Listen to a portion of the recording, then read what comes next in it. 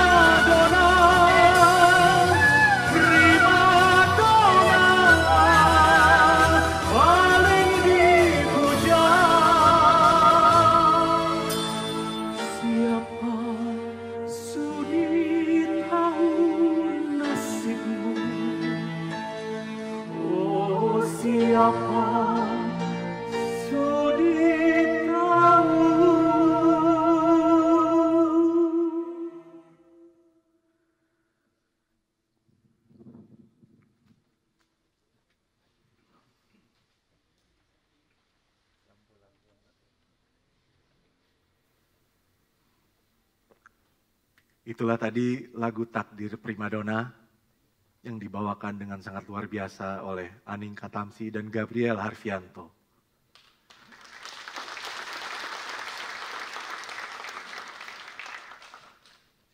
Tadi itu lagu favorit dari Pak Nano, salah satu lagu favorit. Beliau menyanyikan itu juga secara langsung dalam pementasan opera primadona tahun 2001 di Teater Tanah Air, Taman Mini. Selamat malam. Saya Rangga, anak pertama Pak Nano. Uh, gimana perjalanan? Macet? Aman? Oh sepi ya. Udah makan? Sudah makan? Empal gentong di sebelah mana? Empal gentong sebelah sana. Ada es krim juga, ada nasi jamblang. Ada mudah-mudahan sempat makan. Kalau belum makan jangan takut. Habis acara Anda bisa makan lagi. Mudah-mudahan tahu gejrotnya belum habis. Uh, saya mewakili keluarga besar Teater Koma, juga keluarga besar Albertus Sumardi dan Agnes Artini, keluarga besar Abdul Majid dan Elce Dauhan, juga keluarga Rianti Arno, mengucapkan terima kasih kepada Anda semua sudah sudi datang untuk bersama-sama kita memperingati 100 hari kepergian Pak Nano. Uh, mungkin saya mau mengundang uh, kakak tertua dari Ibu Ratna Riantiarno, Pak De saya, Pak Setia Dharma Majid, untuk kita mendoakan bersama-sama Pak Nano. Saya manggilnya ayah. Nggak tahu ceritanya gimana waktu saya kecil saya dijual ke beliau. Jadi manggilnya ayah dan ibu.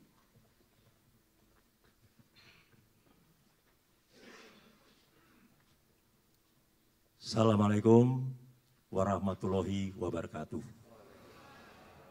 Salam sejahtera, salam, om swastiatu, namo buddhaya, salam kebajikan.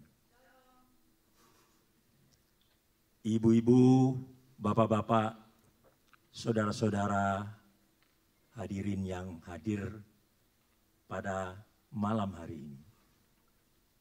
Tentunya sebagai insan yang bertakwa, kita selalu mengucap puji dan syukur kehadirat Allah Subhanahu wa taala Tuhan yang Maha Kuasa yang telah memberikan nikmat kepada kita.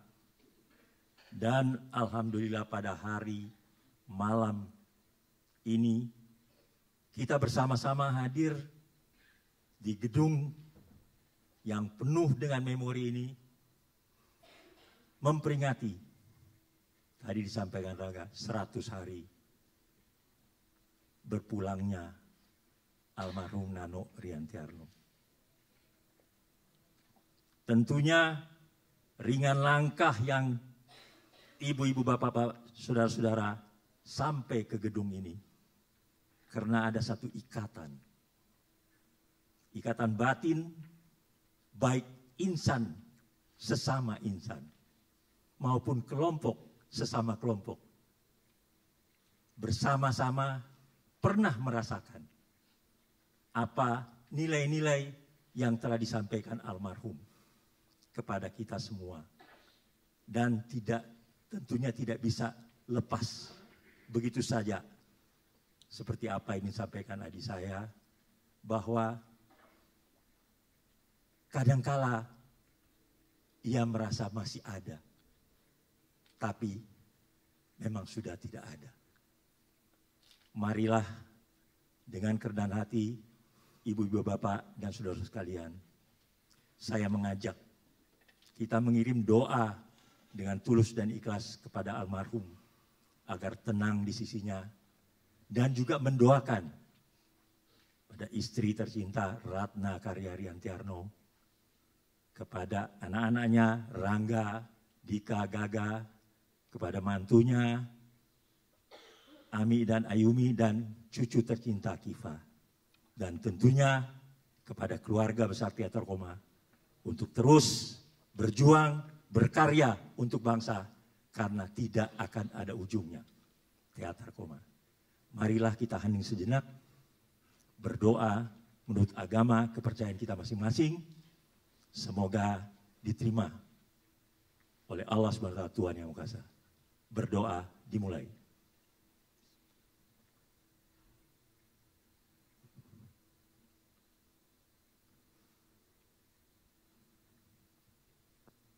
Amin. Terima kasih. Telah gugur pahlawanku. Mati satu, tumbuh seribu. Itulah teater koma. Wassalamualaikum warahmatullahi wabarakatuh.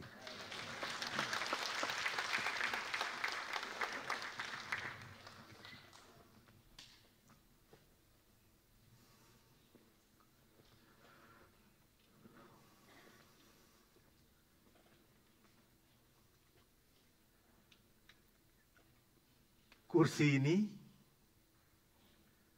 pernah ada di panggung ini tahun 2005. Waktu itu pentasnya Tanda Cinta. Pemainnya hanya dua orang, Pak Nano dan Bu Ratna. Mereka berperan sebagai peran yang sangat sulit. Sebagai suami istri yang selalu bersama, selama bertahun-tahun. Mereka harus beradegan berantem, pamer-pamer foto mantan.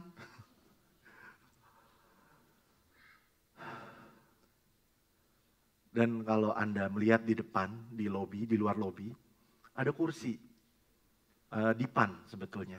Dipan itu tempat papa saya biasa duduk eh, pagi-pagi uh, baca koran,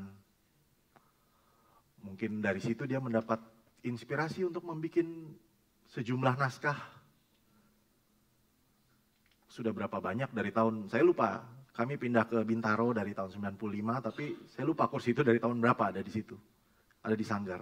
Dan kami membawa kursi itu, kami taruh di lobi depan. Jadi kalau teman-teman mau menyerap aura uh, seorang Nano Riantiano nanti bisa fotoan di depan di sana. Uh, dan mungkin juga saat beliau duduk di situ menjadi inspirasi buat beliau menulis sebuah naskah yang cukup membingungkan sebetulnya pada saat beliau menulisnya menjadi sebuah naskah monolog berjudul Pulang. Kami semua dari teater koma bingung, ini kenapa judulnya pulang?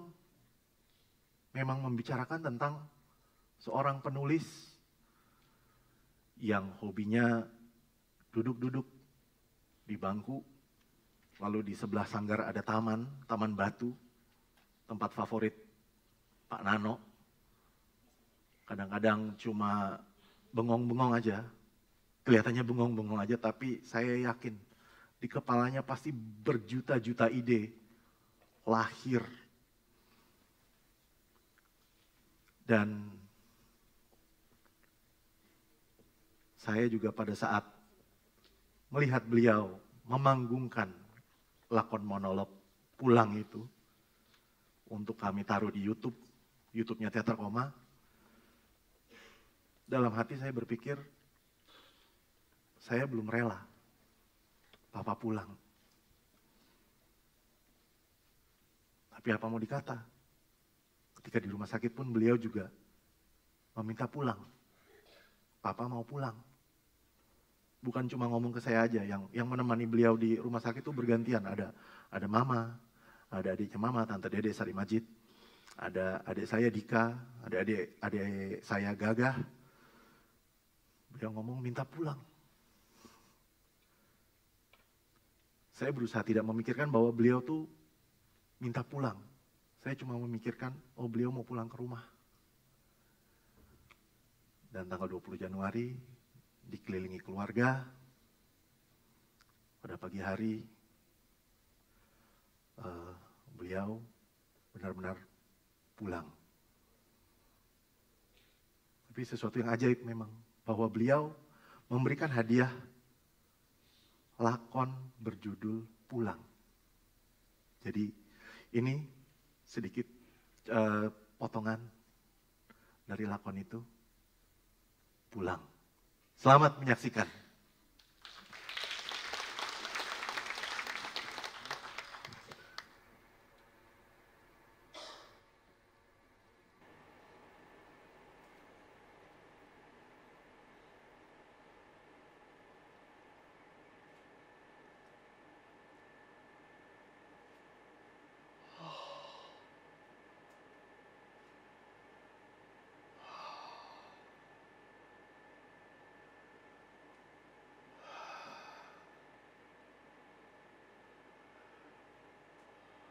Aku tak tahu ke mana harus pulang.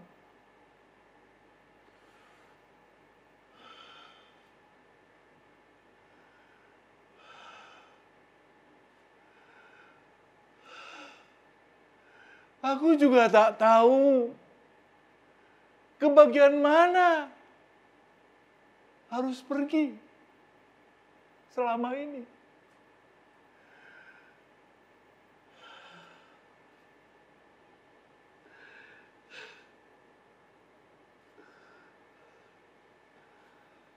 Betapa panjang perjalanan yang sudah kulakukan. Betapa jauh, sungguh tak terbayangkan. Dari mana aku datang? Dari belahan bumi mana? Atau malah aku tidak dari mana-mana?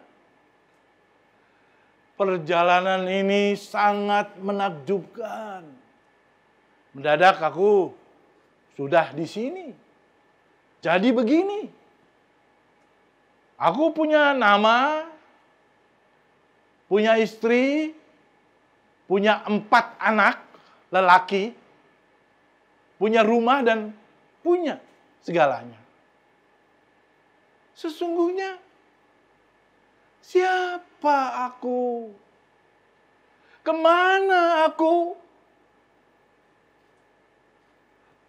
pulang. Dan bagaimana dengan waktu? Oh, waktu bagiku sangat sakral. Tidak bisa dianggap main-main.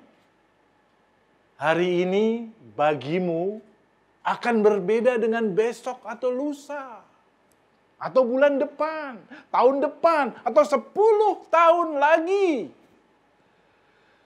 Ketika usiamu 40 tahun, 15 tahun lagi akan banyak tubuh rambut putih di kepala.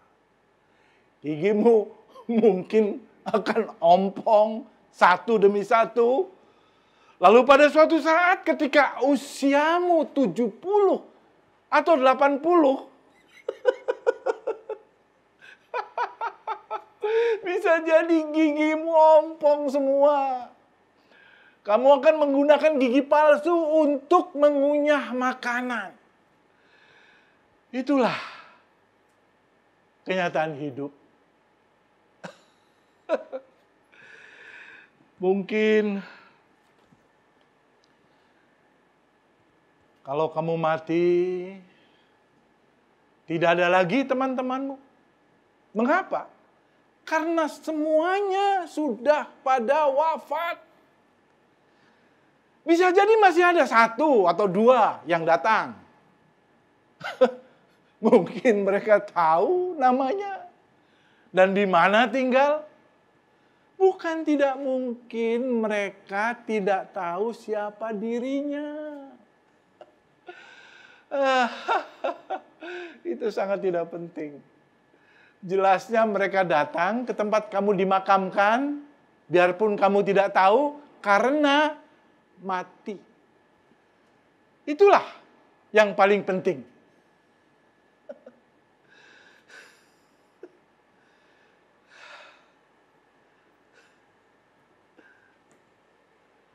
Hari ini aku melihat taman.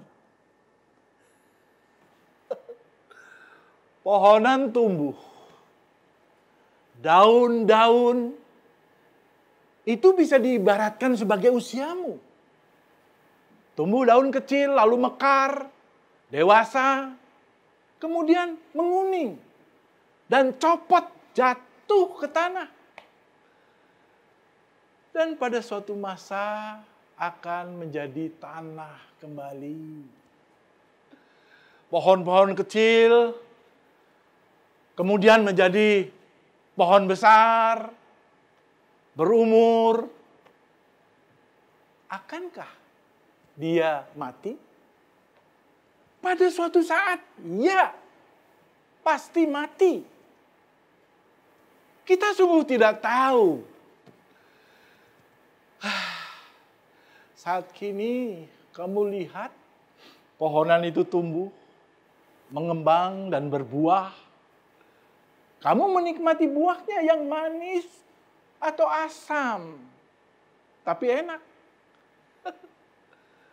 Hanya sesaat, sejenak. Dia akan mati sebentar lagi, nanti, kelak. Bisakah kita menghindari kematian? Hah, itulah kenyataan hidup.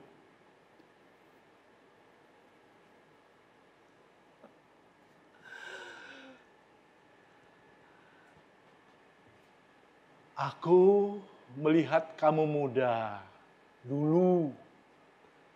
Kamu cantik. Aku sangat mencintaimu. Lalu aku menikahimu. Kini kamu tua, juga aku. Cinta bukannya sudah tidak ada lagi.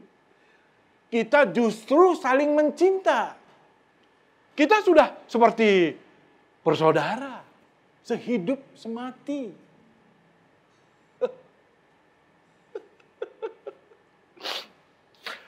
Mungkin aku dulu yang mati. Atau kamu yang mati lebih dulu. Ah, aku sungguh tidak tahu. Tuhanlah yang sungguh berkuasa. Semua ada pada nasib dan takdirnya. Kita hanya ada dan menunggu saat itu tiba. Kapan mati. Yang harus kita lakukan adalah berterima kasih. Karena sudah diberi kehidupan. Kita sudah diberi kesejatian hidup. Itulah lagi-lagi kenyataan yang hidup. Tapi setiap aku duduk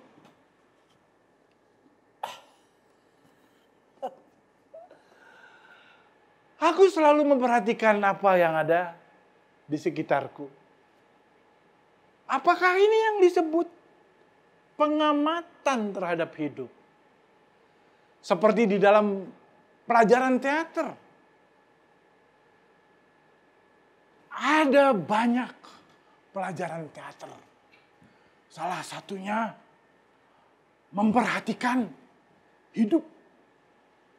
Memperhatikan daun-daun di pohon yang selalu bagus. Indah. Pandangilah mereka. Sangat bagus.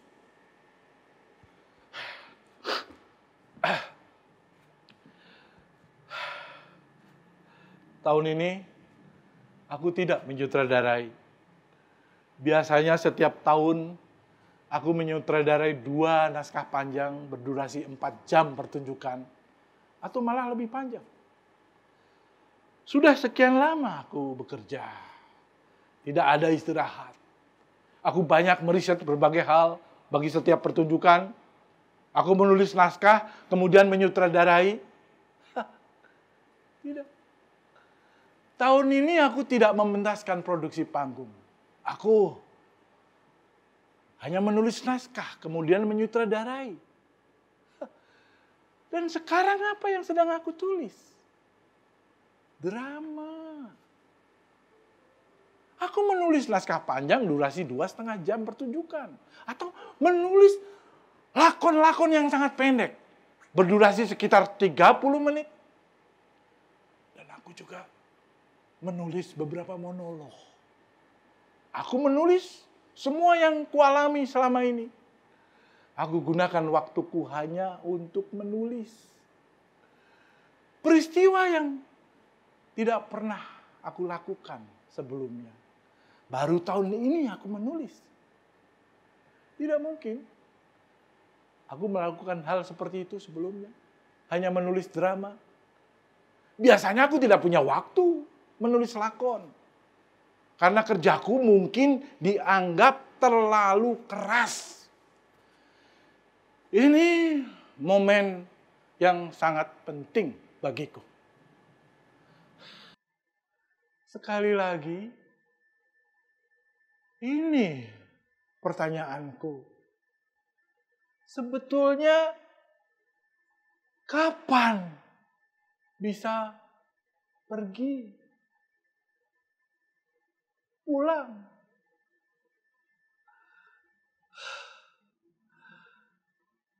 Aku tak tahu kapan akan pulang. Aku sungguh tidak tahu. Tuhanlah penguasa langit. Tapi jika aku pergi nanti, maksudku kalau wafat, di mana pun aku akan berada. Semoga bisa mengisi waktuku dengan menulis. Artinya kalau aku pulang kelak ke sebuah tempat, mungkin di langit atau di mana pun masih diperbolehkan untuk menulis.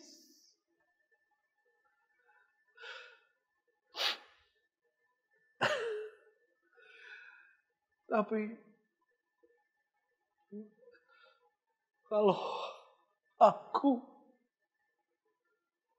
disiksa di sebuah tempat, mungkin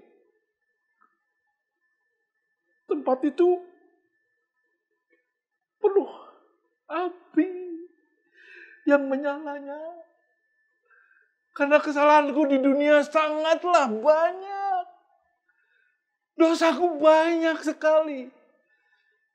Tidak mungkin bisa menulis. Hanya siksaan itu yang setiap hari aku alami. Siksaan yang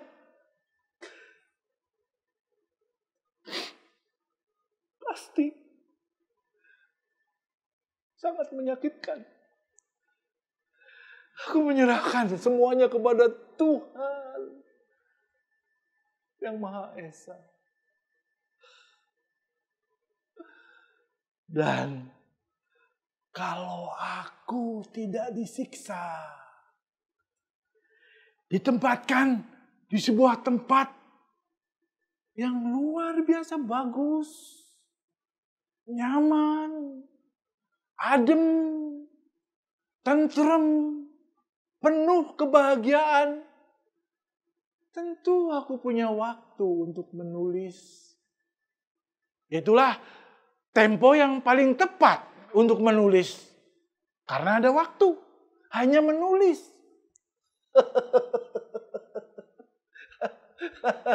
Akan diterbitkan atau tidak. Untuk apa dipikirkan. Yang penting menulis. Menulis kertas kosong dengan kalimat. Kata-kata. Dialog. Mungkin juga kritikan yang pedas barangkali. Dulu aku menulis dan biasanya mengkritik yang tidak terlalu klop dengan kejujuran dan cinta atau mengkritik keserakahan pada perkara politik dan masalah hak asasi manusia. Ah, aku sangat bingung. Kalau seluruh waktuku tidak bisa aku isi dengan menulis.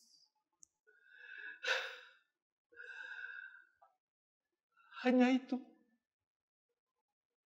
Pekerjaan yang aku bisa.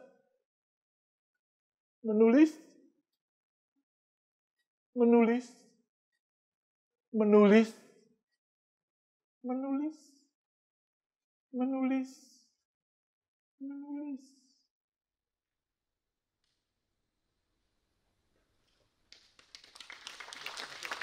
Taufik Ismail dan Fahri.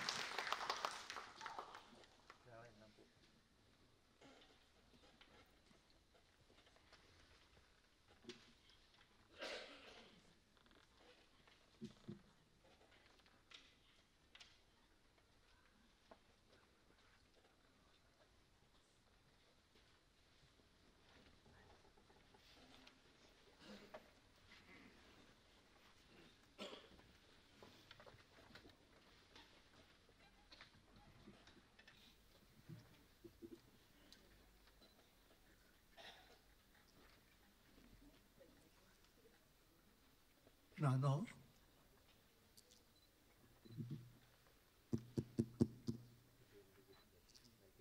Nano Riantiarno.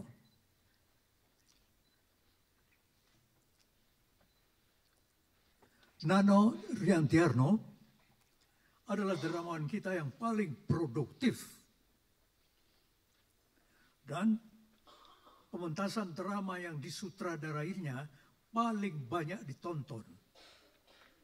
Itu saja sudah menunjukkan dengan jelas di mana posisi dramawan kita ini di panggung kesenian Indonesia.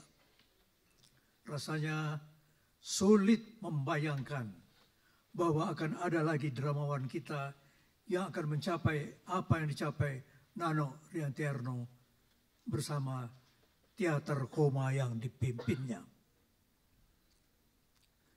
Nano Riantiarno. Orangnya kalem, agak pendiam, suka bersenyum, dan rendah hati. Tapi dia adalah seorang yang berani.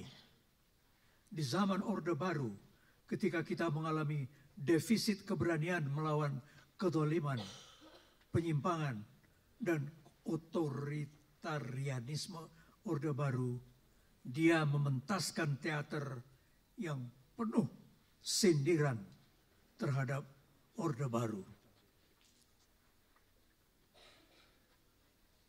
Beberapa pementasannya pun dilarang.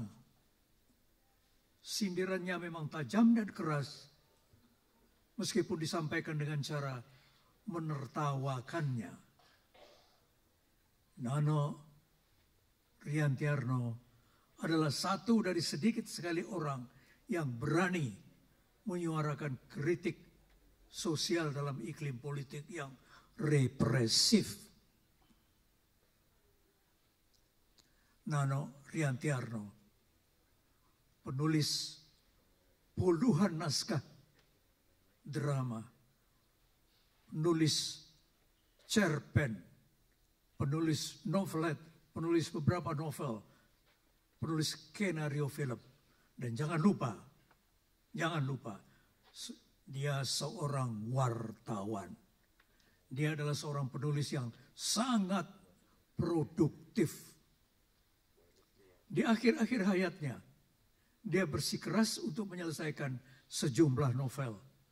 Untuk itu dia mempercayakan penyutradaraan teater koma pada muridnya.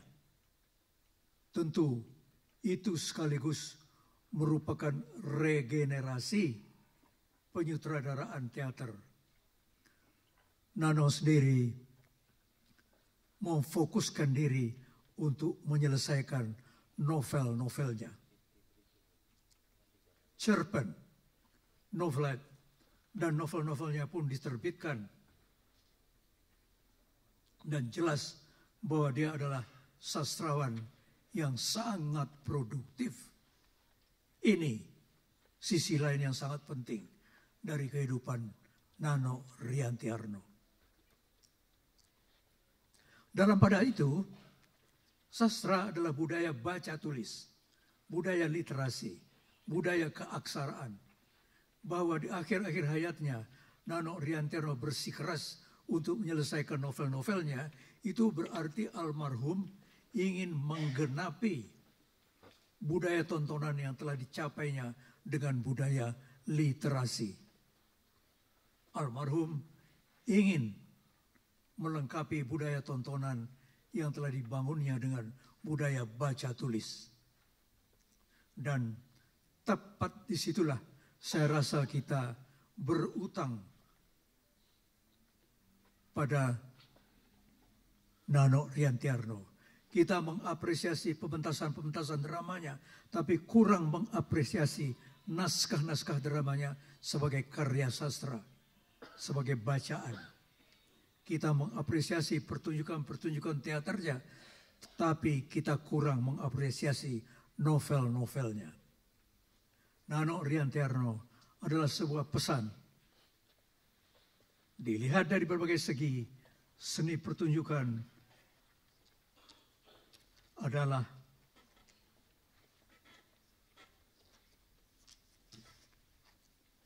penting. Tapi jangan lupa bahwa budaya baca tulis, budaya literasi tak kalah penting, bahkan lebih penting lagi. Nano, selamat jalan. Kami dengar pesanmu.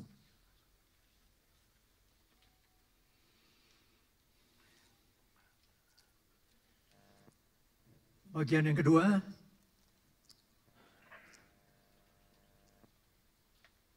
adalah mengenai puisi saya mengejar umur, dikejar umur. Saya akan diiringi oleh Fakhri, murid kesayangan Idris Sardi. Fakhri sudah bermain biola di 11 negara.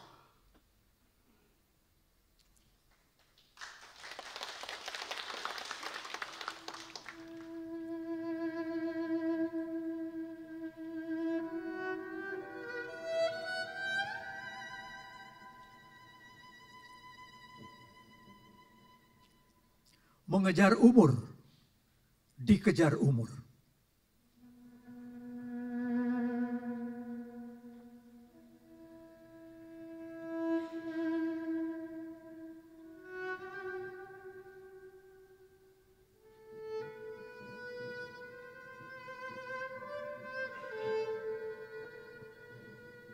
pada suatu hari ada seorang anak kecil yang bijak mengajukan sebuah pertanyaan padaku dan heran.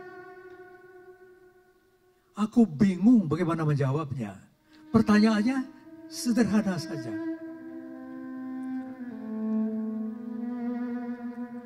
Om Taufik, Om,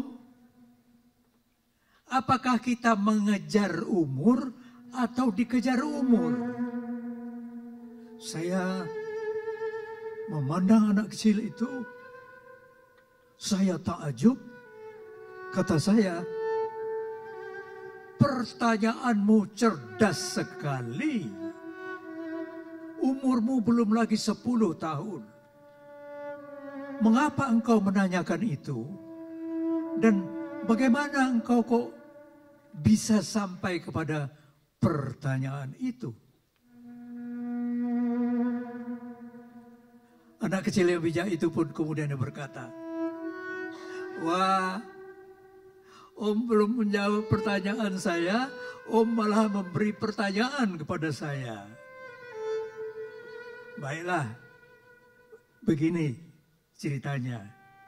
Saya akan dibikinkan acara beberapa kali acara ulang tahun. Nah, di setiap acara ulang tahun itu, saya bertanya kepada papa dan mama, Papa, Mama, apakah kita mengejar umur atau kita dikejar umur? Mereka menatap saya dengan mata keheranan. Tahun itu mereka tak bisa menjawab pertanyaan saya. Tahun depannya begitu lagi. Kelihatannya Om sama saja. Sudah ya Om, bye-bye. Anak itu pergi berseluncur dengan skateboardnya. Saya masih termenung saja.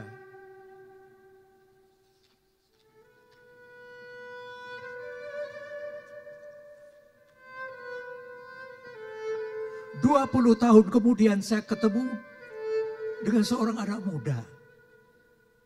Di sebuah toko buku, di depan rak filsafat dan pemikiran. Orang-orang ramai berlalu lintas. Dia menyapa saya dengan sopannya. Om, Om, Om Taufik, Om masih ingat saya? Saya tentu saja lupa. Lalu dia mengenalkan dirinya. Saya dulu yang suka main skateboard waktu masih kecil dekat rumah Om. Dan bertanya dua kalimat favorit saya. Ah, ya, Om ingat. Om ingat. Kamu yang setiap hari ulang tahun dirayakan selalu bertanya, apakah kita mengejar umur atau kita dikejar umur? Ya, ya, ya, ya. Bagaimana Om? Bagaimana? Bagaimana jawabannya? Om tidak bisa menjawab. Om tidak bisa menjawabnya. Maaf ya. Om tidak bisa. Begini saja, begini saja. Nah, ini kan rak buku pemikiran dan filsafat. Banyak judulnya, jago-jago pengarangnya. Kamu baca saja buku-buku ini. Baca, baca, baca. Di sela-sela ratusan alinea dan ribuan baris itu, bisalah kau temukan jawabanmu. Jadi cari sendiri saja ya. Sorry, sorry, oh. Oh, oh pergi dulu. Dengan cepat saya pergi meninggalkannya. Menyelip di antara pengunjung toko buku yang ramai. Om, om, om, om, tunggu sebentar, tunggu, tunggu. Tapi saya sudah menghilang, meninggalkannya. 20 tahun kemudian, saya berdiri di sebuah kuburan. Seorang sahabat meninggal dan kami mengantarkan. Beberapa puluh orang, anak istri almarhum, keluarga dan kawan. Jenazah sudah masuk kubur. Air mata sudah bercucuran. Doa dibacakan. Udara panas dan pengap mendung menahan hujan. Kami semua tafakur, hening dan terdiam. Bergerak ke gerbang kuburan, seorang perziarah menegurku, suaranya perlahan. Om Taufik, Om, tentu lupa saya. Waktu kecil dulu, saya yang suka main skateboard di tetangga Om. Ah, waduh, itu 40 tahun yang lalu. Lama kita tidak ketemu. Sekarang berapa anakmu? Anak saya empat. Perusahaan saya delapan. Saya kaya sekarang om. Om ingat kan? Pertanyaan saya yang nakal dulu itu. Jawabannya sudah ketemu. Jadi soalnya bukan apakah kita mengejar umur atau kita dikejar umur itu yang penting. Yang penting itu adalah titik temunya. Yang penting itu adalah titik temunya. Dan titik temu itu adalah kuburan ini.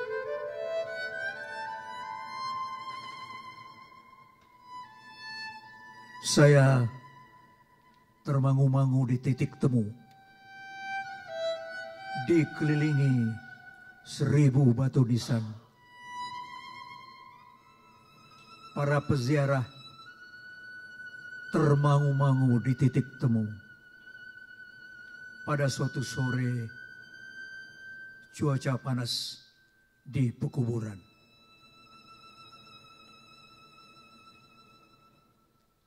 Tahun 2001.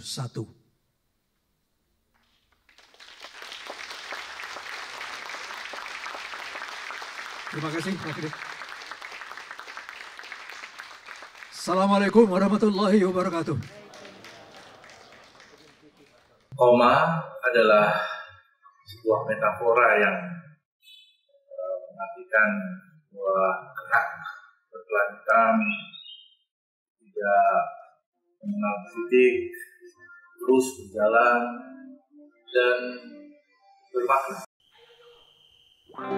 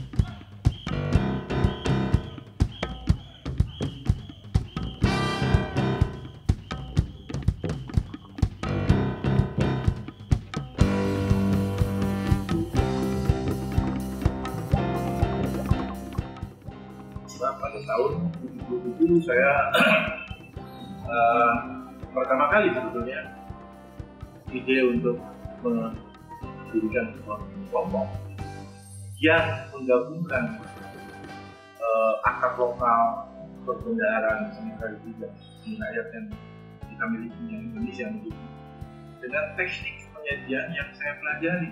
Ini penyajian, barat yang saya pelajari selama di akademi dan selama saya berguru pada kita. Pada tanggal 1 Maret 1977 bergabung eh, beberapa orang, 12 orang jelasnya, yang berangkat dari bermacam-macam latar belakang. Jadi gabungan dari semua sumber itulah teater koma. Bernyanyi, bermusik, bergerak, eh, memberikan pencerahan lewat humor dan memberikan pencerahan lewat sebuah rasa kritis terhadap apa yang terjadi di sekeliling kita. Orang menyebutnya politis. Padahal sebetulnya itu concern concern terhadap eh, apa namanya peristiwa sosial. Jadi em, sampai sekarang teater koma masih tetap pemegang konsep itu sebagai eh, yang kami yakini.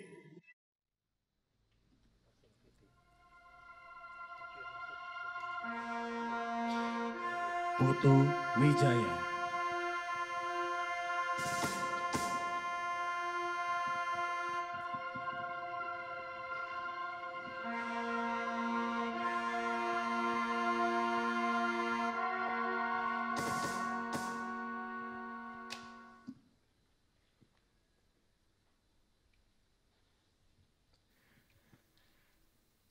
Hadirin sekalian yang saya muliakan, selamat malam semuanya. Hari ini, 10 tahun yang akan datang, saya bertanya kepada cucu saya Taksu, namanya sama dengan bapaknya Taksu. Taksu, kamu kenal siapa itu Nano? Nano siapa? Nano, oh, Nano Rianjarno. Iya, kamu kenal. Oh, pemimpin teater koma itu, iya, betul. Siapa dia? Iya pemimpin teater koma. Iya, siapa dia? Cucu saya, Taksu, melihat kepada saya dan berkata, lihat saja Google. Saya bingung. Apa saya salah bertanya? Apa pertanyaan saya salah? Saya terpenung lama. Nano Riantiarno saudara saya yang lima tahun bersama saya di majalah zaman, saya disuruh melihat kepada Google. Tapi tiba-tiba kemudian Taksu menoleh kepada saya. Tadi kakek bertanya kepada aku, sekarang aku bertanya kepada kakek. Boleh? Oke, silakan. Kakek. OTP itu apa? Saya ketawa. OTP, gampang. OTP itu kan OTP itu kan OTW, OTW on the road. Taksu bingung. Bukan OTW, tapi OTP. Saya bingung, OTP apa itu? One time password. Saya bingung, apa makanan apa itu? Lihat saja Google katanya.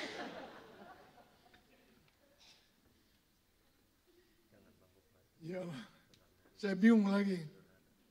Kita di hidup di zaman yang sangat menguntungkan kita. Kita satu zaman dengan Teguh Karya, satu zaman dengan Arifin Sinur, satu zaman dengan W.S. Rendra, satu zaman dengan Nano. Kita tahu siapa orangnya, apa yang dikerjakannya, apa yang dia pikirkan. Tapi 10 tahun yang akan datang, anak saya suruh menyuruh saya lihat Google. Saya sebel banget. Itulah sebabnya ketika Budi Ros akhir tahun lalu menulis sebuah surat rahasia kepada saya dan bilang mereka akan membuat sebuah buku yang berisi untuk memberikan selamat ulang tahun perkawinan kepada Nano dan Ratna, tapi nggak boleh dibilang-bilang katanya.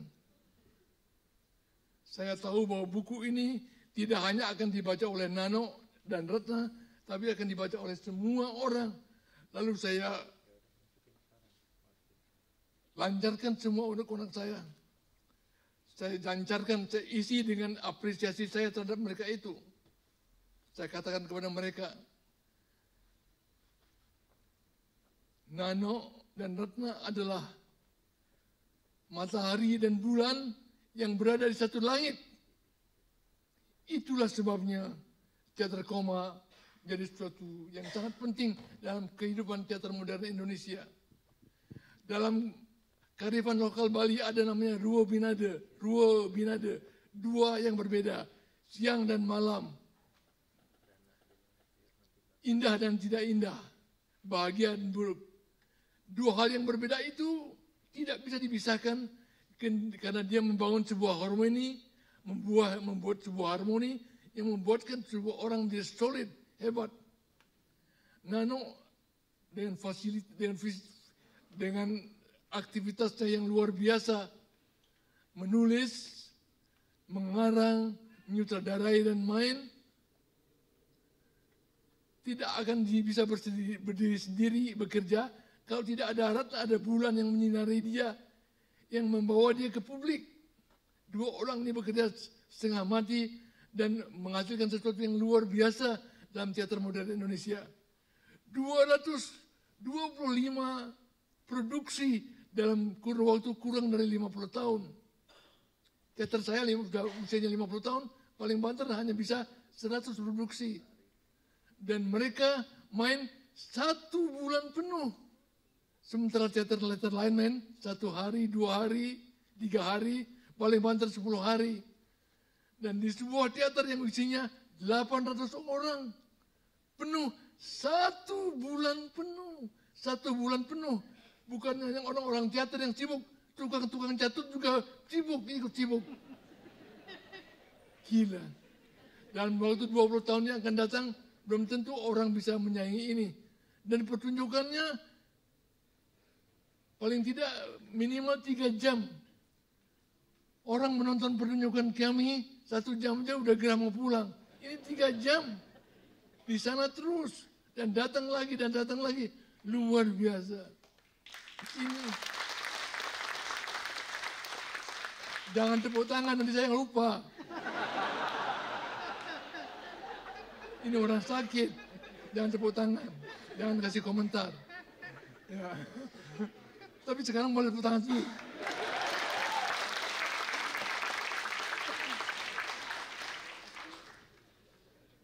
Nano Riantiarno.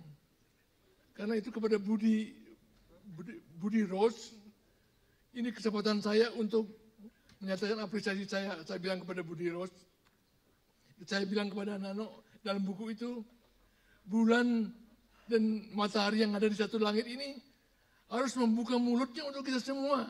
Jangan dirahasiakan apa kesaktiannya dia. Buka. Teguh Karya telah pergi. Arifin telah pergi. Wester Rendra telah pergi. Pada waktu itu Nano belum ya. Tidak ada berikan dia akan pergi.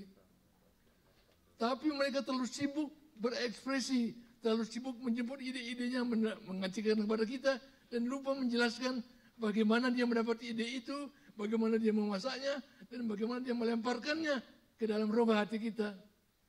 Sampai sekarang, saya kira sama 10 tahun yang akan datang, anak-anak kita akan menyuruh, siapa itu Arifin, siapa itu Rendra, siapa itu Teguh Karya, lihat Google, pasti begitu. Karena itu saya minta kepada Budi Ros. Saya minta lewat Budi Ros itu kepada Nano,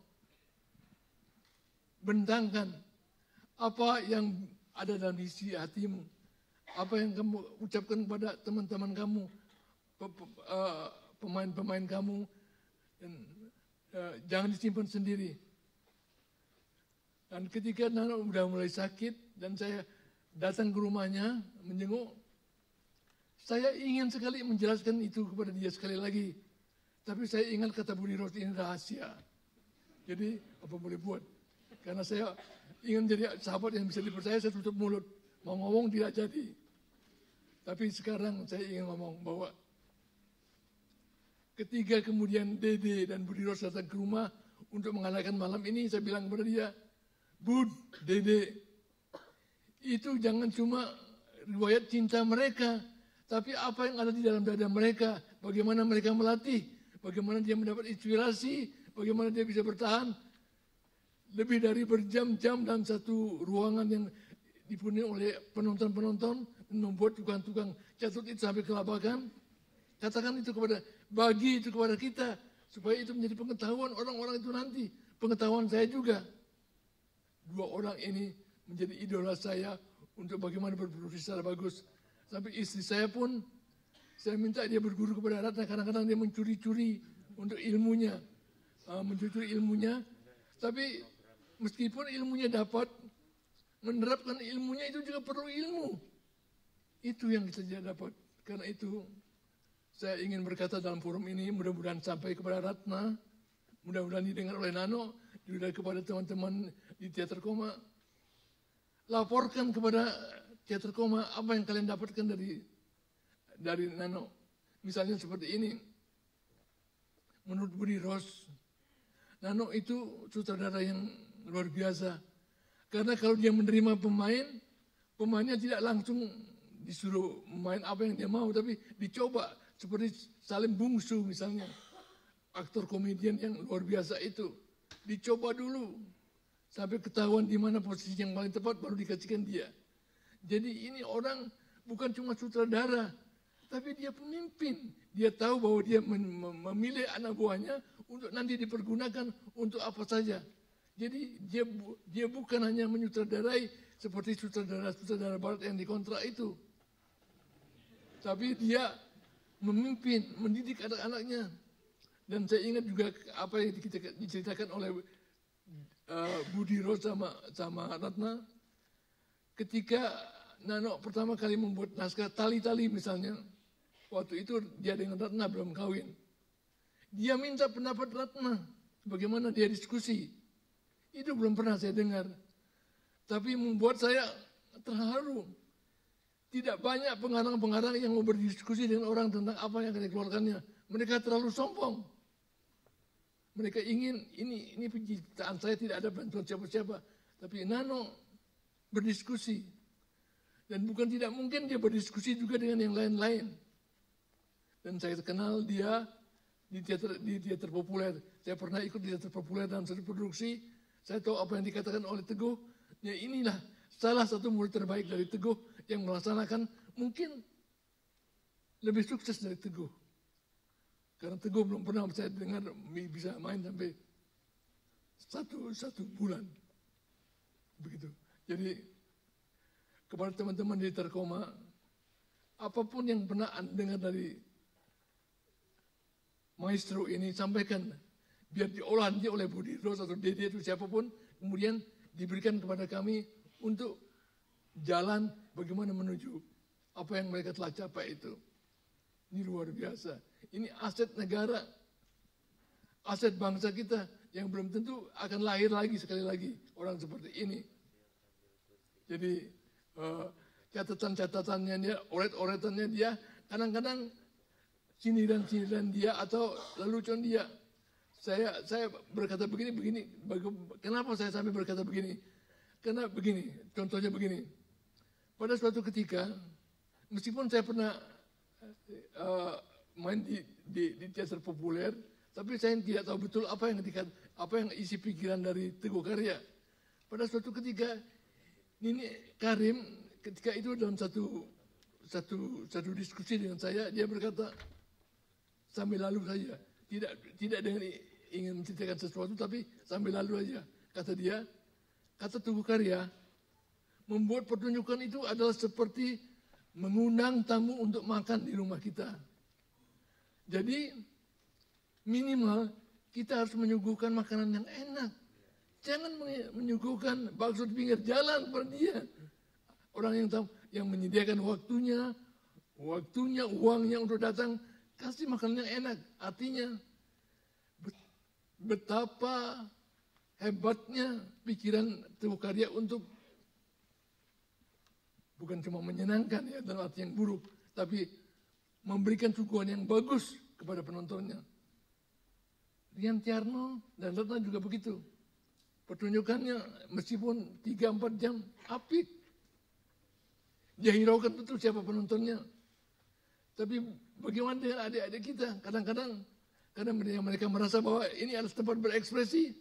Asal ekspresi, asal dia memenuhi emosinya sendiri cukup tidak memperhatikan bagaimana penonton.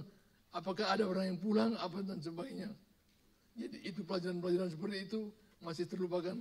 Karena itulah dalam kesempatan seperti sekarang ini, hal-hal yang kecil-kecil yang remeh-temeh itu mungkin bukan sebuah pelajaran, tapi sebuah ucapan-ucapan yang kalau direnungkan dalam artinya, terutama buat orang yang bekerja di lapangan. Tentu akan berguna sekali.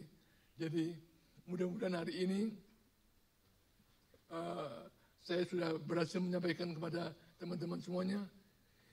Uh, tabunglah apa yang kalian dapatkan dari kedua orang mereka ini, kembalikan kepada mereka dan minta mereka menuliskannya untuk kita lagi. Nanti kami dari Teater Mandiri, meskipun tidak ada yang bisa kami lakukan untuk mereka, uh, selalu siap untuk datang membantu kalau dipanggil. Asal jangan disuruh membaca Google. Teater koma teruslah mengalir dan tetaplah menyala.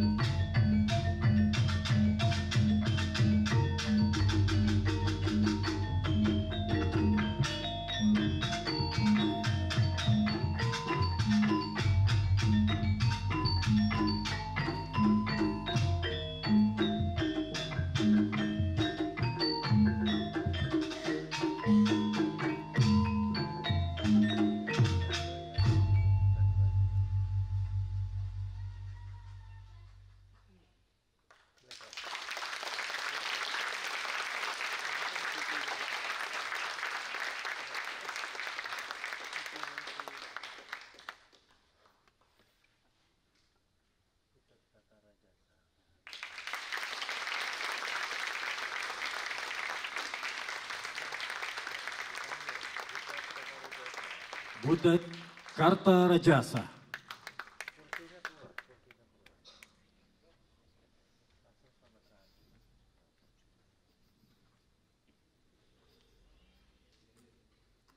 Selamat Raharjo.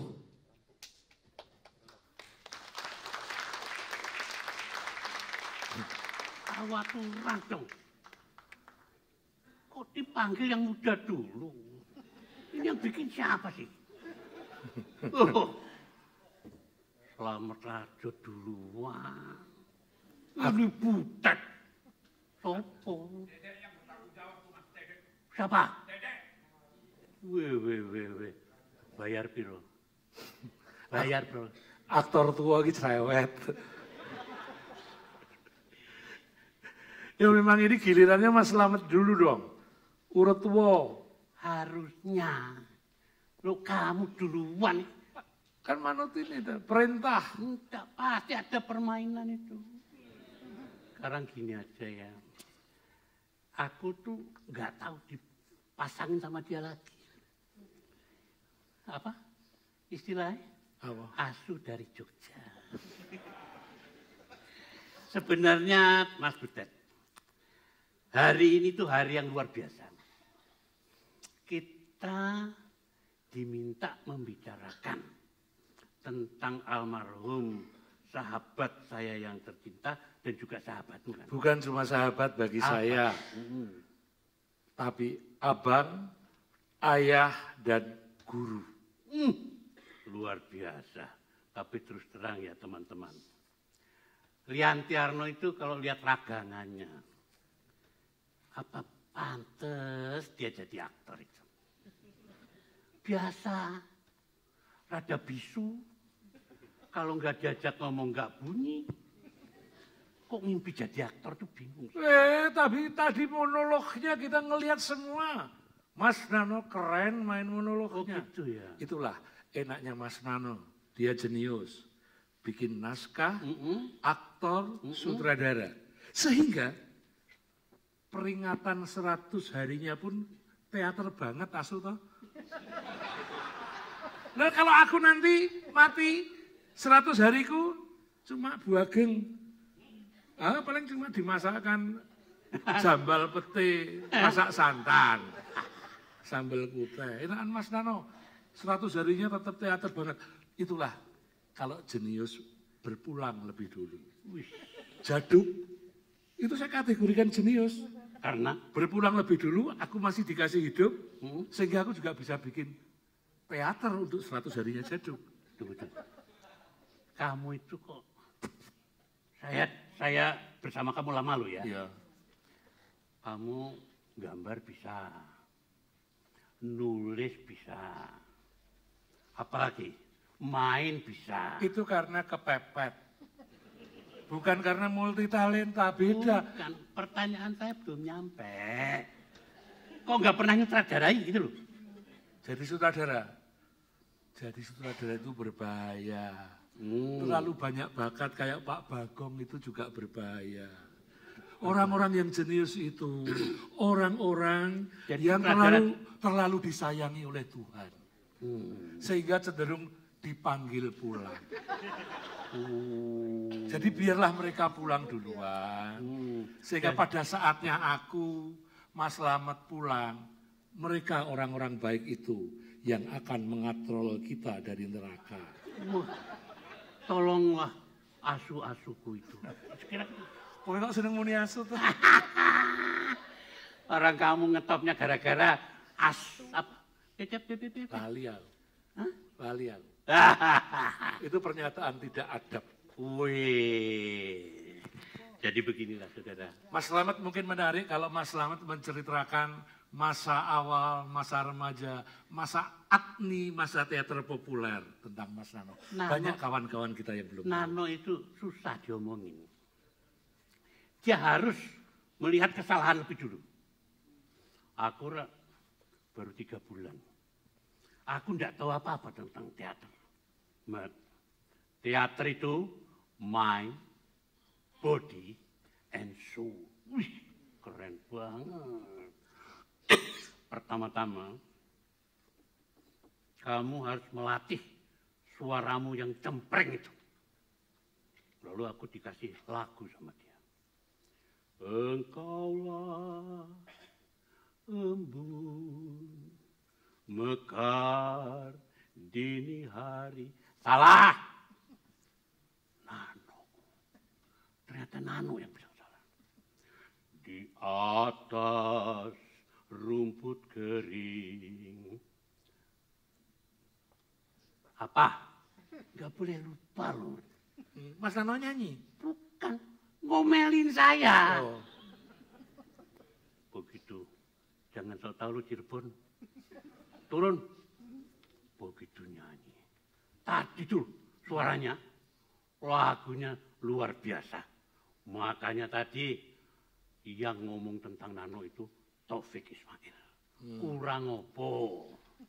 Tapi tiba-tiba kamu sama saya tuh sebetulnya berharga nggak sih ngomongin Nano?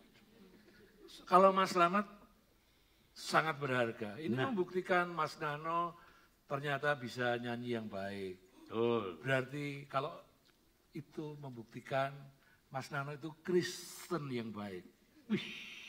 Kalau saya pasti Kristen yang busuk. Orang iso nyanyi aku pales mas. Jadi gini ya, Nano itu susah diceritain. Saya tidur pernah sekamar sama dia. Kita dapat makanan sama. Makanan Nano dan makanan saya, Nano belum pulang. Mungkin ke rumah Ratna ya, dia nggak tahu. Tiba-tiba, mumpung tidak ada Riantiano, tak makan. Makanan jatahnya Nano. Pura-pura tidur, Nano pulang. Kok tidak ada suara apa-apa?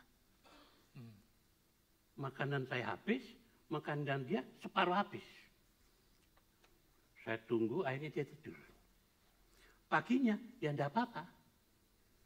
Besoknya, karena ada kemungkinan Nano tidak marah lagi, sebelum Nano datang, sebelum dia mengucapkan apa-apa, datang piringnya udah kosong. Saya makan. Saudara, Nano tetap nggak marah. Nah jadi kalau sekarang dia bisa ngomong seperti itu, wih, saya terkagum-kagum. Dia bicara tentang pulang. Dia bicara tentang apa itu teater koma. Apa itu? No, teater koma. Teater koma itu kata dia selalu masih merupakan siklus. Aku tidak boleh berhenti karena itu bukan full stop. Maka nanti, Met, kalau aku bikin teater, namanya teater koma. Sekarang Nano sudah pergi. Aku tanya sama teman-teman koma. Apa betul masih bisa mengatakan apa yang disampaikan oleh pemimpin kalian yang namanya Rian Tiarno? Bisa? Koma lo masih terus berlanjut, bisa? Tenane. Kudu tenan mas. Tapi enaknya tuh begitu. Teater orang misu-pisuan sama butet ini. Kenapa kita tidak marah? Kenapa kamu nggak marah? Ternyata komunitas, komunitas teater telah menggembleng kita. Dan modalnya cuma satu. Mungkin Anda setuju. Komunitas itu punya harga diri, betul? Komunitas itu punya kesepakatan janji, betul? Komunitas itu saling bersaing, tapi fair dengan jalan kompetisi. Yang lain belum tentu, teh. Ya. Yang lain itu konkurensi. Jadi Nano minta izin kalau boleh saya menjadi penulis dan sutradara teater dan saya minta izin pada Teguh Karya. Aku kok mau izin belajar film aja. Film itu aneh. Kenapa? Nano tanya. Kalau kamu bilang pada pemainmu yang perempuan, aku tak bisa tidur. Wajahmu nempel di mana-mana. Segala sesuatunya adalah kamu, kamu, kamu. Itu antara lain Nano mencintai Ratna di naskahnya itu sangat luar biasa. Tetapi di film no, lain. Aku harus bilang wajahmu selalu mengganggu tidurku. Tak mungkin aku memejamkan mataku. Dan aku acting habis-habisan dengan menggambarkan lawan mainku di depanku. Tetapi nyatanya saudara, di depan saya bukan lawan mainku. Kameramen. Dan kameramennya nggak punya etika lagi. Zaman dulu masih boleh ngomong waktu syuting. Saya lagi acting bagus. Depan saya Christine, mestinya Christine.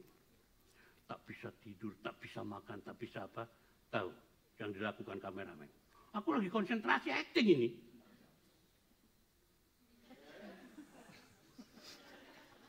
Rupanya saya mesti minggir dikit. Mesti kecil dikit. Dan yang paling parah adalah Teguh Karya. Aku main namanya Ranjang Pengantin. Aku harus menangis habis-habisan di kuburan ayahku. Apa yang terjadi? Aku acting habis-habisan. Teguh Karya ngomong karena nggak nggak langsung suaranya ya. Jadi saudara boleh ngomong, met met. Nanti kalau lo udah habis ini, lo lihat kanan. Di kanan itu ada marmer. Marmernya itu berbentuk bunga. Nanti kalau gue bilang cut, lo ambil itu marmer, masukin ke jaket lo. Kita bawa pulang. Bayangkan bisa konsentrasi gak? Ternyata disuruh nyolong. Nah kalau nanti Anda ke teater populer, di atas kuburan Teguh Karya, ada marmer bermotif bunga, itu hasil tolongan. Tapi saya juga ingin membocorkan soal keaktoran idola saya ini. Tentu kawan-kawan semua pernah nonton film November 1828 bukan? Ini aktor luar biasa, londo lokal.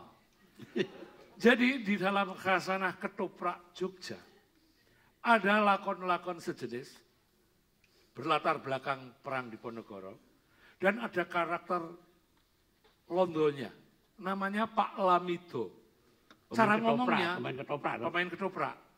Cara ngomongnya, rupanya itulah yang diimitasi aktor Slamet Raharjo. En kowe bolone dipono dipono rogo ya. Lamido, aku iki kaya ngene ngakune Agni ya. Stanislavski. Stanislavski Belgedes iki Lamido. Lamido. Teguh Karya itu nggak pernah tinggal di Jogja. Kalau toh tinggal cuma sebentar. Saya disuruh ngomong kayak gitu. Jadi kamu orang tidak begini, tidak begitu. Pak Teguh, please. Ini Jogja. Saya jangan ngomong kayak gitu. Itu Lamido Pak Teguh. Tapi akhirnya karena dia sutradara. Tapi soal Mas Slamet, soal Pak Teguh Karya, soal Mas Nano, tentu menyebabkan saya punya nasib baik Nah, seperti gimana, hari gimana, ini. gimana, gimana. Karena Mas ya, aku ini sebagai pemain teater, Hmm. itu murni otodidak. Aku bukan muridnya Rendra yang di Jogja itu menjadi panglima perang dunia teater. Ya. Hmm. Saya ketika SMP itu hanya membaca buku tentang bermain drama Rendra. Tidak ada yang Hmm. membimbing saya berteater. Hmm. Saya melihat Mas Putu Wijaya tahun 74. Kalau nggak salah mementaskan lo di teater arena. Hmm. Karena tahun 74 itu saya pernah mulai diajak oleh ayahnya Jaduk, mertuanya istri saya itu. Oh Pak Bagong. Pak Bagong Hmm. ke tim. Hmm. Jadi saya melihat pertunjukan teater, melihat festival teater remaja, Hmm. zamannya Deddy Miswar masih main festival teater Hmm. remaja. Hmm. Cok Oh, Simbara. jadi Nano tuh nggak tersentuh sama kamu? Nano lahirnya teater koma, saya melihat poster-posternya di tim. Wih, Karena wih, tidurku wih, kan di Wisma Seni. Iya, iya. Saya melihat Selamat Raharjo, Teguh Karya, Putu Wijaya, ibaratnya menyentuh pun tidak mungkin. Uh, Kue tak idolai zaman itu mas. Asu. asu. Saya nggak mungkin menyentuh. Maka ketika suatu hari Mas Nano, Mbak Ratna menawarkan saya untuk main di teater koma. Kaget dong ya. Wow, itu berkah luar biasa. Karena saya setelah saya mendapat pengalaman-pengalaman empiris dari anak cucunya bengkel teater di Hmm, Jogja. hmm. Sekarang saya langsung dari sumbernya. Hmm. Ini kan para putra wayahnya Pak Asrul Sani. Hmm. Iya toh. Putra wayahnya Jaya Kusuma. Jaya Kusuma Atni. Hmm. Jadi aku akan mengicipi Eyang Stanilavski melalui Atni, melalui Mas Nano dan Mbak Radna, kawan-kawan teater koma semua tahu sejak Republik Bagong itu. Hmm. Ibaratnya aku kuliah 12 semester, ku selesaikan dalam tiga bulan saja. Nano, salam dari muridmu. Aku katam loh, hafalanku apa? Tanya Mbak Ratna, orang kaya Selamat Raharjo. Aku hafalkan katam, kunjungan cinta itu empat jam. Aku sama Mas Nano cuma dikasih satu segmen. Satu scene ini kamu boleh improvisasi. Lainnya tidak boleh. Kehilangan satu kata pun ditanyakan sama Asmin. Satu kata hilang, bahkan satu suku kata. Pernah ada dialog, saya harus melompati spanduk, dan waktu melompat menurut naskah, aku bilang, ah, Hmm. suatu hari aku latihan mas, aku melompati spanduk itu dan aku tidak bilang ah. Lalu? Pas evaluasi, Asmin komplain, tadi mas Butet waktu melompat spanduk tidak bilang ah, Oh betul, asu. kok." betul. Itulah yang Stanislavski. Betul. Jadi dirusak oleh butet. Karena begini, waktu aku jadi apa itu yang tangannya empat itu, Betara guru. guru. Mat, jangan ngarang dialog sendiri ya. Enggak lah no. Met, lo kenapa? Harus pas sama dialog di naskah. Met, aduh. Banyak banget aturannya teater koma ini. Enakan karo butet. Makin salah makin bagus. Jadi kulino makin salah makin bagus. Main itu perjuangan buat saya. Ya orang main ya golek pangan asu. Ora kok, sama Nano itu cuma satu. Met, aku tahu di film kamu dapat berapa. Di teater nanti istriku nggak tegel ngasih amplopnya. Jangan. Nggak dibayar pun sama Riantiano. Aku mau. Tapi apa yang terjadi? Kurang ajarnya Nano itu. disuruh nyanyi. Orang saya nyanyinya aja nggak jelas, disuruh nyanyi. Pakai apa itu? Logat apa itu ya? Irama apa itu? Wah, mesti. Kalau enggak, tadi dilaporin sama tuh admin. Jadi memang Nano itu, aku lihat tadi tentang monolog pulang dia. Sebelum main itu, Bu ya tanya saya toh, kalau pulang tuh ke mana? Saya itu di teater dan film sudah pernah kawin lima kali. Sudah mati tujuh kali. Lomboknya nanya sama saya. Begitu saya dor modar gitu kan. Aku lihat di bioskop. Oh kalau aku mati tuh pada nangis. Kalau aku kawin lagi dilempari batu. Karena istri itu aku marah. Baca punyanya Putu Wijaya. Udah mati. Hidup lagi. Wah aku suka itu. Tapi sampai hari ini aku nggak berani ngomonginnya. Nggak berani maininnya. Putu tuh kira-kira kayak Nano apa kayak kamu gitu. Put, put. Kira-kira kalau aku main itu harus sama titik komanya enggak?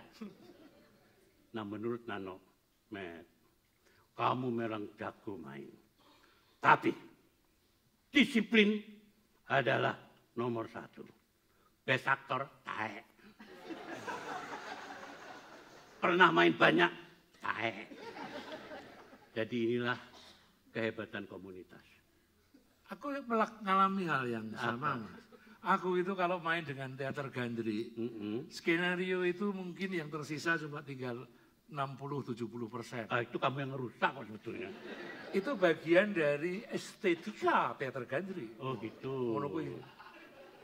Itu ajarnya keset aja.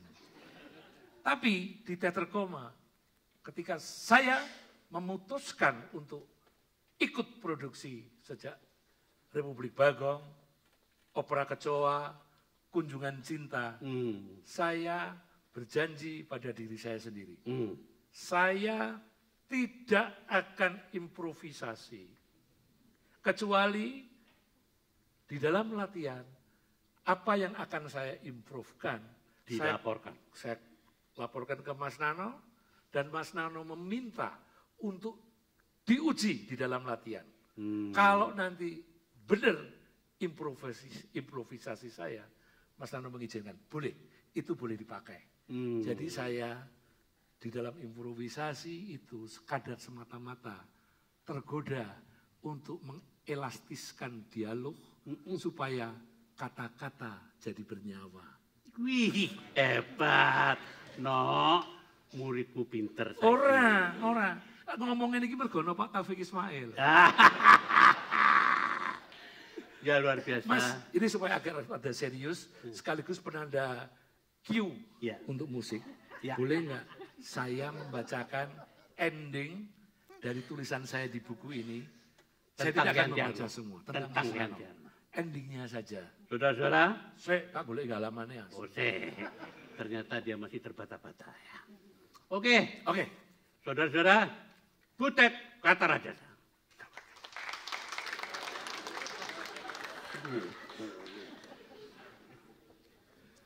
dari paparan pendek ini Hmm.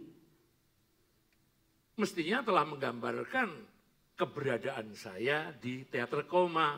Hmm. Bukan sekadar pemain tamu, melainkan masuk ke rel- relung dalam sebagai keluarga. Hmm. Mas Nano bukan lagi kawan sejawat, tapi sahabat dan guru. Sahabat untuk tukar pikiran dan berbagi pengalaman, bukan hanya untuk urusan kesenian, tapi bahkan ke hal-hal personal yang menyangkut hidup. Ketika tahun 2021 saya terombang-ambing dengan nyawa saringan. Ketika hidup tanpa harapan, Mas Nano dan Mbak Ratna empat kali mengunjungi saya ke Jogja. memompa semangat, mentransfer energi. Sehingga ketika gantian Mas Nano dibayang-bayangi maut, saya pun wajib melakukan hal yang sama, semampunya, sebisanya. Begitulah. Saya yakin, seyakin yakinnya. Seorang jenius bernama Nobertus Nano Riantiarno telah hidup dan mewarnai Indonesia. Menolong dan diam-diam mengambil alih tugas negara mencerdaskan bangsanya. Si bangsa yang genetiknya kebudayaan. Suargo langgeng, Mas Nano. Nano, I love you. All of us laughing? All of us laughing.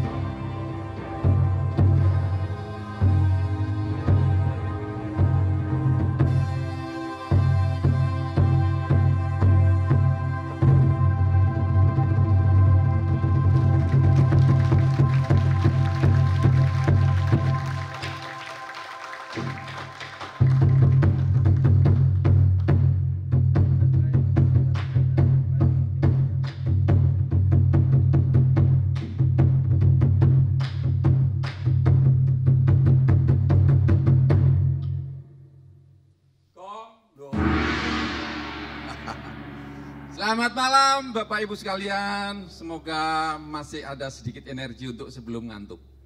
Salam sejahtera untuk kita semua. Pada tahun 2019, JJ Rizal menggagas buku esai untuk Enrian Tiarno. Pada saat itu kami kebetulan sedang merancang sebuah penerbitan karya-karya Enrian Tiarno yang sedianya akan menjadi 15 jilid dan masing-masing jilid terdiri sekitar 10 naskah. Gagasan Rizal pada tahun itu tidak terlaksana. Kemudian pada tahun 2022 akhir, eh, coba digagas lagi buku esai mengenai Henry Antiarno. Tetapi kali ini eh, diubah sedikit menjadi esai untuk Nano dan Ratna. Karena kami melihat bahwa Nano dan Ratna adalah sebuah paket lengkap. Kurang lebih seperti itu. Nah, Sedianya buku itu akan diterbitkan tepat pada ulang tahun mereka berdua yang ke-45, 29 Juli tahun ini, sebagai hadiah kejutan. Tapi ternyata kami semua dikejutkan oleh Mas Nano yang keburu pulang. Saya minta maaf pada Mas Nano karena buku ini terlambat terbit. Tetapi akhirnya setelah mengalami penundaan, hari ini buku itu terbit dan saya ingin menyerahkan kepada orang yang paling dicintai oleh Mas Nano, yaitu Ibu Ratna dan dua putranya. Saya mengundang Mbak Ratna untuk hadir di atas panggung.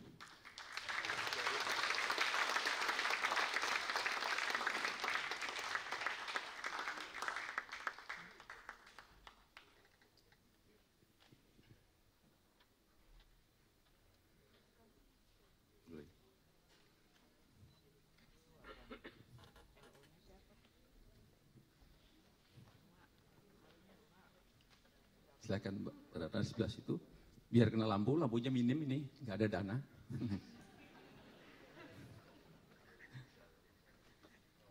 Mbak Ratna, hari ini buku itu akhirnya terbit, saya serahkan kepada Anda, kepada Mbak Ratna, dan ini adalah hadiah yang terlambat. Uh, saya harus mengucapkan terima kasih kepada teman-teman, saudara-saudara sekalian yang sudah uh, berkenan uh, berkontribusi untuk menulis, menyumbangkan tulisannya. Dan kami mohon maaf apabila dalam komunikasi selama ini ada hal yang kurang. Monggo diterima Mbak Ratna.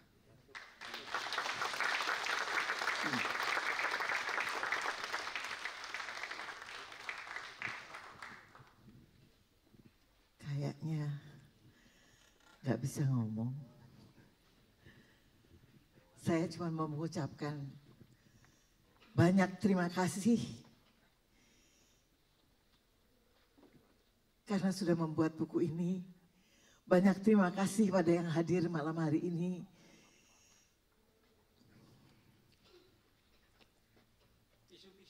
Banyak terima kasih. Ini lagi acting kok. Banyak terima kasih kepada para penulis buku ini. Ini memang kejutan gitu. Dan saya yang biasanya memimpin sebuah acara gitu, nggak tahu apa-apa, nggak tahu siapa yang diundang gitu. Saya baru tahu tiga hari ter pertama ada mantan gubernur Pak Fauzi Bowo yang membocorkan rahasia ini. Karena dia menelpon saya dan mau mewawancara saya, terus saya tanya, ini buat apa sih? Gitu. Waduh, waduh dia gitu. Saya salah nih katanya gitu. Dan saya mulai curiga jadinya kan. Saya khawatir ini sebetulnya bikin buku apa, bikin acara apa gitu. Apakah udah teratur dengan baik gitu ya. Biasa, biasa jadi pimpinan produksi pengennya ngatur terus kan. Saya tidak terasa memang. Rasanya baru aja tanggal 27 Desember saya membawa Mas Nano ke rumah sakit Darmais. Dan kemudian dia meminta pulang ke rumah.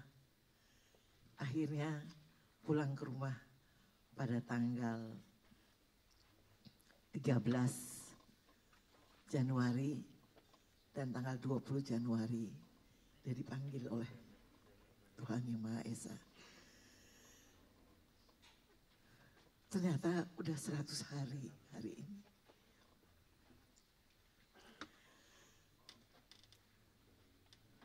Saya bahagia sekali bisa mendapatkan buku ini dari kalian semua keluarga besar teater koma yang kerja keras mungkin buat ini semua dan para penulis juga yang dikejar-kejar karena deadline-nya berbeda dari yang semula gitu. Terima kasih, terima kasih, terima kasih. Mudah-mudahan kita bisa membalas ini semua.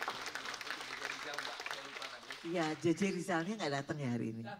Oh, oke, okay. JJ Rizal, thank you, thank you. Nggak naik ke atas panggung sih. Saya ingin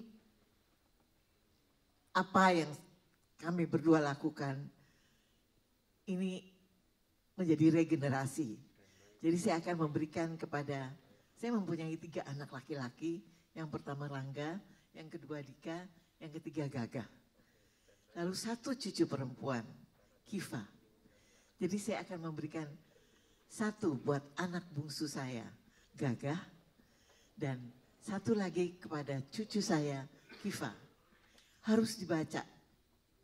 Oke? Okay? Ada bukunya.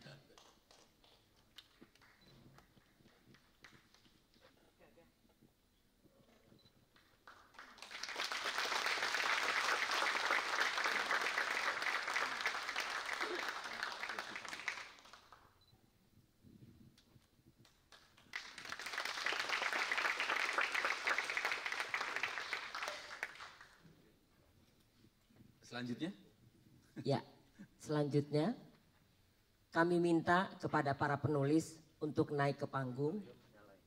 Bapak Arthur S. Narlan, Bapak Butet Kartarejasa, Bapak Endo Suwanda, Bapak Fauzi Bowo, Bapak Heri Gendut Janarto, Ibu Jajang Senur, Bapak John McLean, Ibu Mary Harun, Bapak Norka M. Masardi, Bapak Peter F. Sairang, Bapak Putu Fajar Arcana, Rangga Riantiarno, Ibu Rina Ciputra, boleh naik Romo. Muji, Bapak Sentot Sudiarto, Ibu Syahnas dan Bapak Gilang Ramadan, Bapak Slamet Raharjo, Bapak Tarsan, Bapak Wani Darmawan, Ibu Yani Mariani Sastra Negara, Bapak Yudi Sunarto.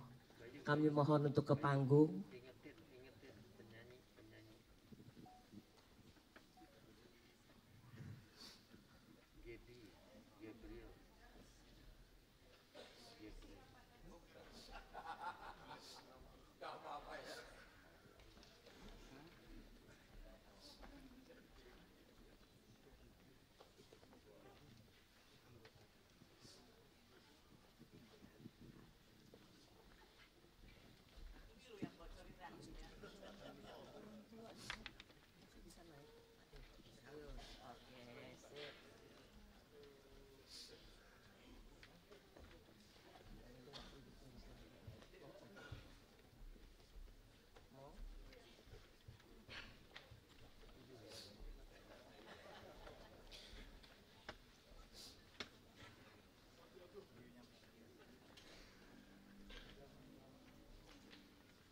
Kami mengundang juga Mbak Aning Katamsi dan Mas Gabriel untuk ke panggung.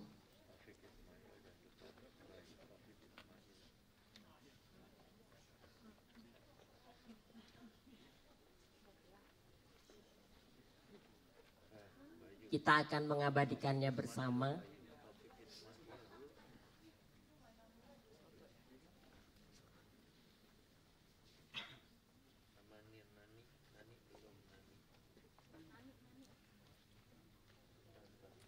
Oh, Ibu Nani Safitri.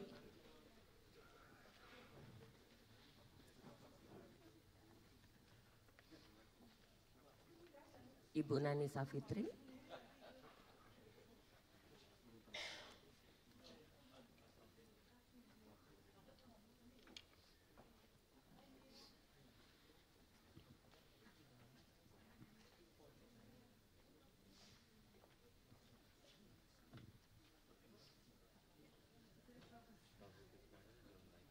Kita akan foto bersama.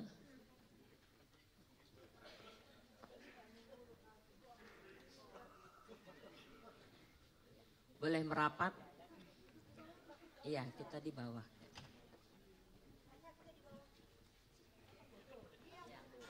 Ya jangan di bawah. Nanti ngangkatnya susah. Tolong yang sudah nanti bisa duduk, tidak bisa berdiri. Mohon maaf, ini perlu yang mengangkat. Cukup, Om Logo di depan Om Logo. Sini, sini, sini.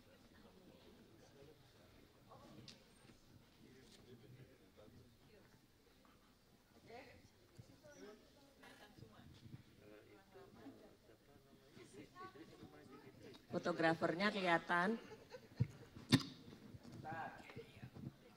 Itu yang tangannya ngangkat itu. Tuh tangannya melambai-lambai. Tangan. Satu, dua, tiga. Lagi. Satu, dua, tiga. Terakhir. Satu, dua, tiga. Oke, terima kasih. Sekali lagi terima kasih baik kepada para penulis, para hadirin yang telah hadir bersama-sama dan yang juga mensupport membeli buku dan terlaksananya acara ini. Semoga kita masih bisa memberikan energi positif dan kita maju bersama tidak pernah berhenti seperti koma. Usai sudah acaranya, tapi di kiri kanan masih ada nasi jamblang dan empal gentong, ada es krim, ada kopi teh. Silahkan eh, berada di kiri kanan panggung. Sekali lagi terima kasih, terima kasih, dan terima kasih.